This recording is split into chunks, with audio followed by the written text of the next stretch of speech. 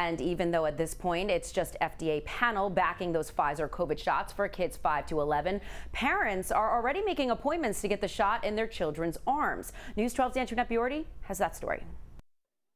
Pfizer is closer than ever to getting full approval for the COVID 19 shot for children ages 5 to 11.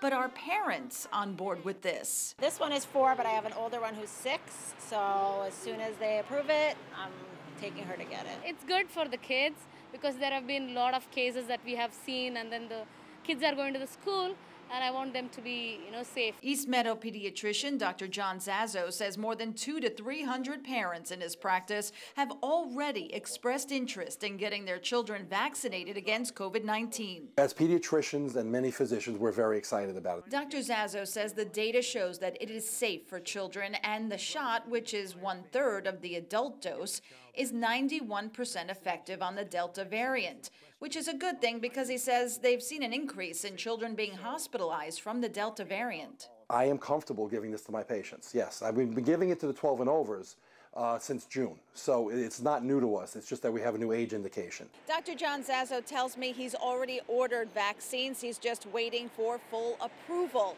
He also told me that if you have any questions about whether or not to vaccinate your 5 to 11 year olds, don't go to the internet. Discuss that with your child's pediatrician. In East Meadow, Antoinette Biordi, News 12, Long Island. And Dr. Zaso says, according to the state, there's been a 63% increase of new positive COVID cases in children. He says if they get the vaccine, it will be another step in putting an end to the pandemic.